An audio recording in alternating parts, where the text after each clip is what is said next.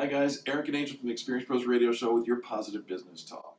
As we grow Experience Pros once again a little bit bigger, we're reminded of all the people that helped us to get to where we are and the relationships. And it's all about those relationships. And we're so grateful for the people we've surrounded ourselves with. You bet. So, your tip today is develop relationships and stop chasing transactions. So here's what we want you to do is take a moment today and just recognize all the people that helped you to get to where you are. It is, does, it absolutely takes a village. And we think about some of the people that have just poured inspiration into us, believed in us when we were small, and have actually locked arms with us and said, Where you go, we will go with you. So make a list of all of those people in your life. Once you have that list, make sure that you actually execute on it. Say thank you to them.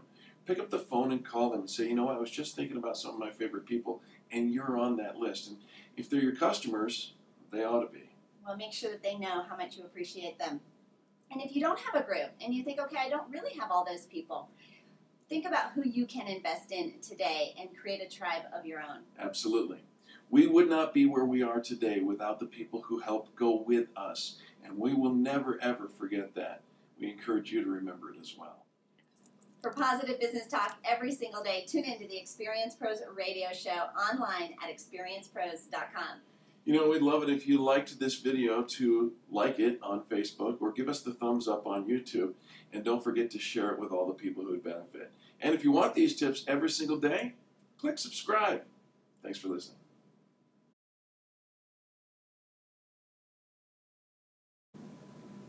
Oh. Now we're supposed to say Yes. day. Tune into the Experience Pros radio show for positive business talk. And you can find us at experiencepros.com or uh, take two.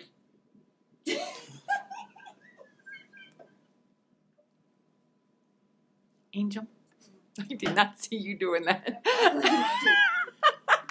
I'm looking here and I see this. I thought that's what she was doing for a There second. I got it. I got